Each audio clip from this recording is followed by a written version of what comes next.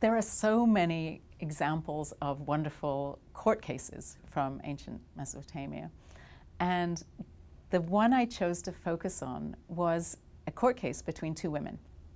There was a woman named Geme Suen, and she had lent a lot of silver, a whole lot of silver, to another woman whose name we don't know. She's only called the wife of Orlugal.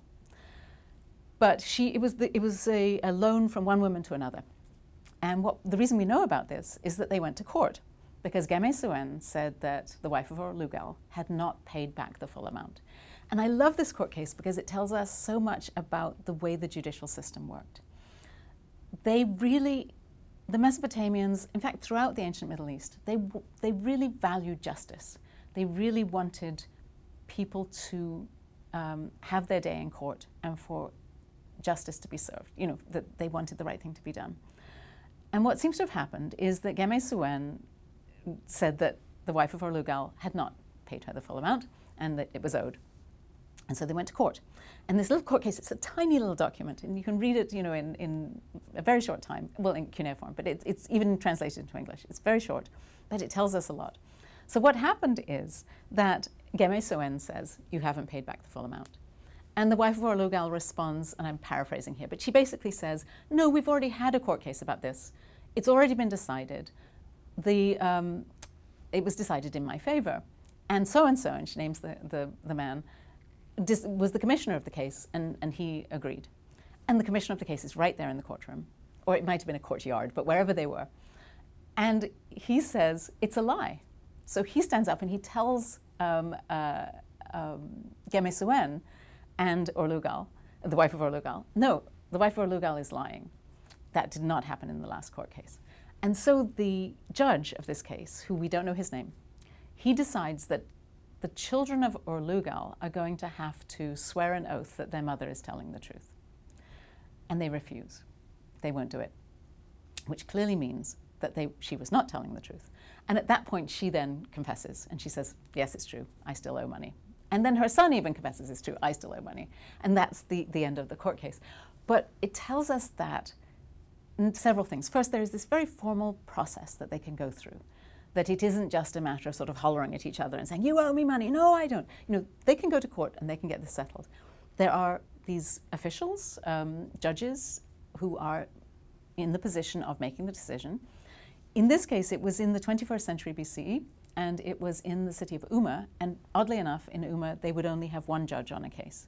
Mostly, they would have a panel of judges, five or seven, and it would be a decision of the uh, majority. In this case, we just have the one judge.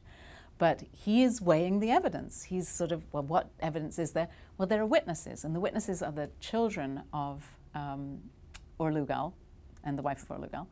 And he asks them, so does your mother still owe money? And this is when it gets really interesting because they are not willing to lie for her because they have to do it under oath. And in our courts, when we say, you know, I swear to tell the truth, the whole truth, nothing but the truth, you don't assume that if you lie, God is going to kill you on the spot. But they had this very, very powerful belief that the gods were watching everything, and that if you swore in the name of Shamash, which they would have had to do, the sun god, that they were telling the truth, and they weren't, the punishment from the sun god was going to be way worse than what they might have benefited from lying on the part of their mother. And so, very often, this is what happened in this case, they simply refused to swear the oath. And that's enough for the judge to know she's lying because they would refuse. So, there's a lot of things. You've got contracts, you've got a loan, you've got judges, and you've got the other aspects which make it different from our world, which is there are no lawyers. The women represented themselves. Um, and you have no jury. They didn't have a jury system. They had judges who, who were well trained. They were really trying to get at the, at the sort of bottom of the case. And then we also have the fact that the laws of the time, and that this was the very earliest known set of laws, which are from the reign of Ur-Namma, who was in the 21st century BCE, he wrote about exactly this issue of lying under oath. And one of the laws was what would happen if you were called as a witness and you lied and what fine you would have to pay. And so I was able to also bring in the, the laws. Interestingly enough, they don't seem to have paid much attention to the laws. The, they're never quoted in court cases. They never say, because the law says such and such, I have ruled this.